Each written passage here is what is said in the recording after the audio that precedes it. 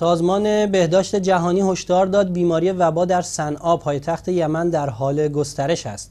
عمر صالح یکی از مقامهای سازمان بهداشت جهانی در نشستی مطبوعاتی در صنعا گفت شمار موارد ابتلا به وبا از پنج نفر به یازده نفر رسیده است وی تأکید کرد پزشکان در تلاشند شیوع وبا را که به جز در صنعا تلفاتی نداشته است کنترل کنند سازمان ملل روز جمعه گذشته برای اولین بار شیوع وبا در یمن را گزارش داد هزاران خانواده یمنی که از جنگ گریختند در اردوگاه های اطراف صنعا و در شرایطی مساعد برای انتشار وبا زندگی می کنند. بخش اعظم زیرساخت های یمن از جمله مدارس و بیمارستان ها در حملات هوایی سعودی ها به این کشور تخریب شده است. صالح تصریح کرد که بیش از نیمی از مراکز بهداشتی یمن از زمان آغاز جنگ و پس از پایان بودجه از فعالیت باز ماندند.